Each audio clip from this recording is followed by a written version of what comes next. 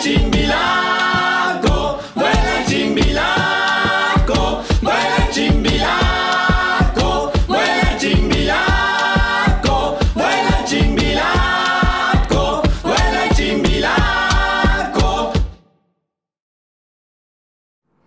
Hola, ¿qué tal? Mi nombre es Julieta, soy docente de Argentina y trabajo con niños, niñas y adolescentes.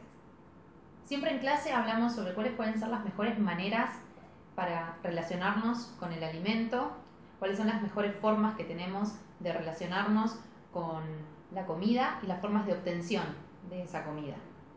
Entonces, lo que se me ocurrió mostrarles hoy es una lista que tengo de cinco objetivos en las cuales día a día las podemos ir chequeando y podemos tildar aquellos que hayamos cumplido. ¿sí?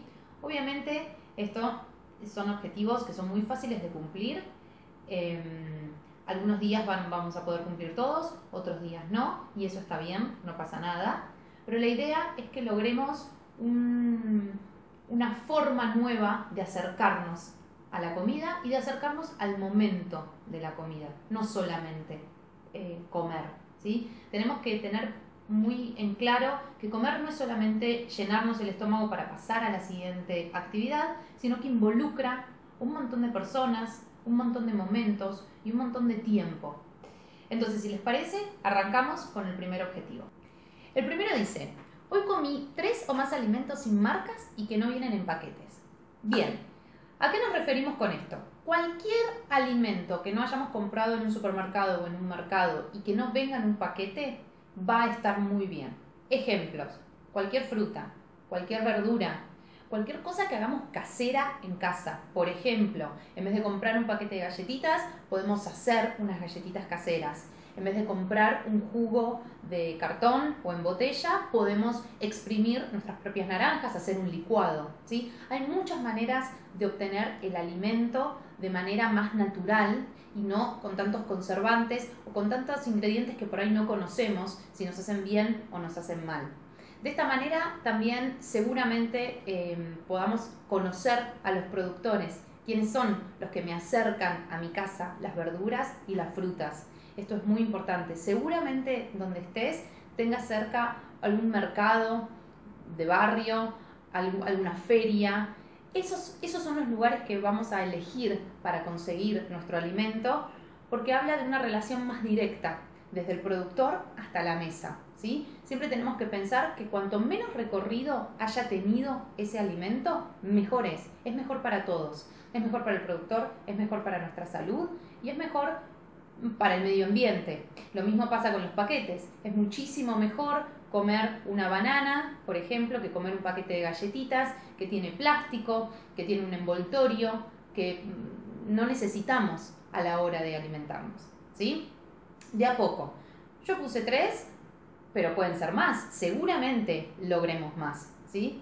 Em, si al final del día lograste ese, pones una tilde y genial. Bueno, la segunda dice, hoy hubo más de tres colores en mi plato durante el almuerzo y la cena. ¿Qué vamos a hacer acá y por qué lo hacemos?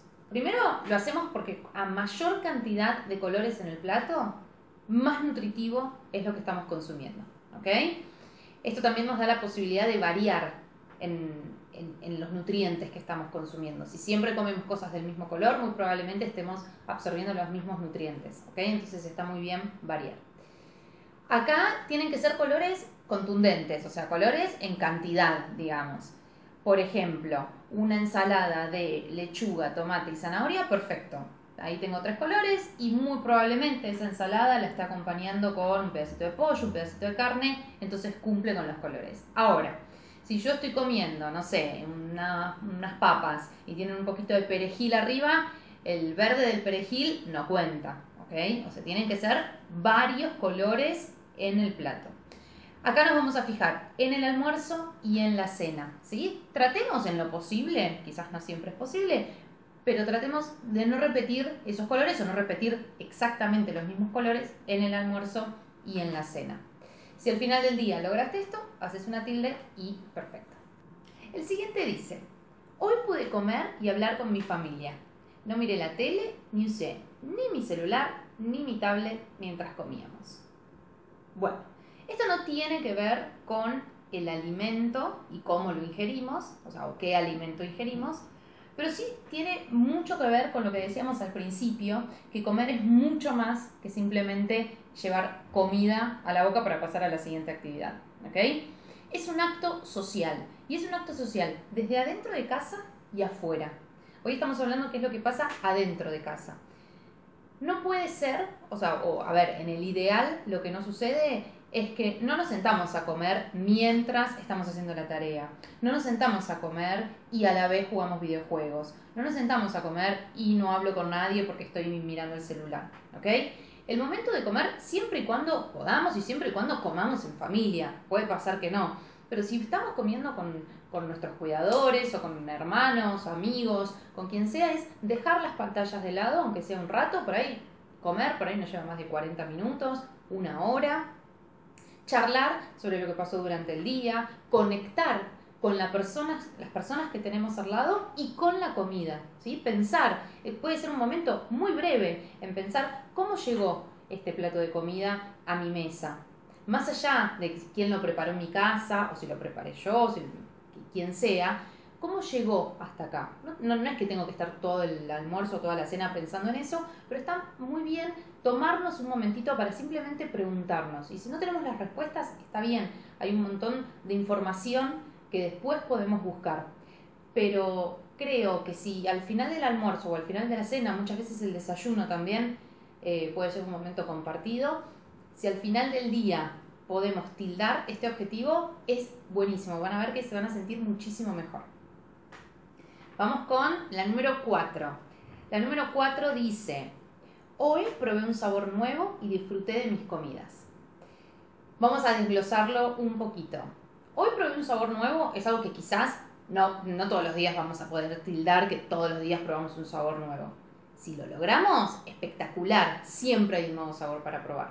No solamente porque siempre quizás hay algo nuevo para probar, sino también porque hay veces que podemos hacer combinaciones distintas combinaciones a las que no estamos acostumbrados. Por ejemplo, eh, ponerle un poquito de sal a alguna fruta, comer em, un chocolate con, no sé, con alguna otra nuez también que esté por ahí un poquito más salada. O sea, mezclar los sabores, mezclar el ácido con el salado, mezclar ácido con dulce, mezclar dulce con salado. Eso lo pueden probar y ahí van a ver que ganan muchísimo en el autoconocimiento.